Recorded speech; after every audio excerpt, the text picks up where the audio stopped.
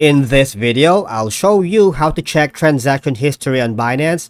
It is a straightforward and clearly described in the video, so follow all the steps. But before we dive into all of it, make sure you hit the subscribe button below and ring the notification bell so you never miss out on our latest content. Right, checking transaction history on Binance would mean you need to log in using your credentials. So I'm here at Binance.com. It doesn't matter if you're using Binance Lite or Binance Pro first off you log in. Even you, you can go to your, the app if you're using mobile device right? Then we hover here on how to generate transaction history. The first is go to the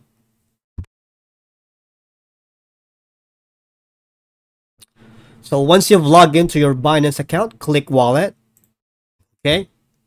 Then the uh, transaction history and click export transaction records, right?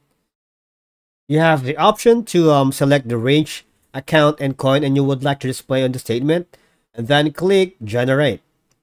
So please note that the uh, generating records consumes server resources. So each users can only generate up to uh, 15 times per month. So you have to be aware of that. The export quota is subject to periodic review as Binance optimizes the platform for a better user experience, right? So after your statement is generated, you will receive an SMS or an email reminder. And then, now, to go to transaction history, right here, I'm, I'm gonna click it. Nothing happens, right? Because I don't have any transaction yet done here in Binance. But if you have, if you have done so, see, you can export transaction records you can just export here. Right and after that next to the statement generated please note that the statement download link will only be stored for seven days. So please download it as soon as possible. Right so yeah. So here export transaction records and then click generate. And that's it for today's video guys.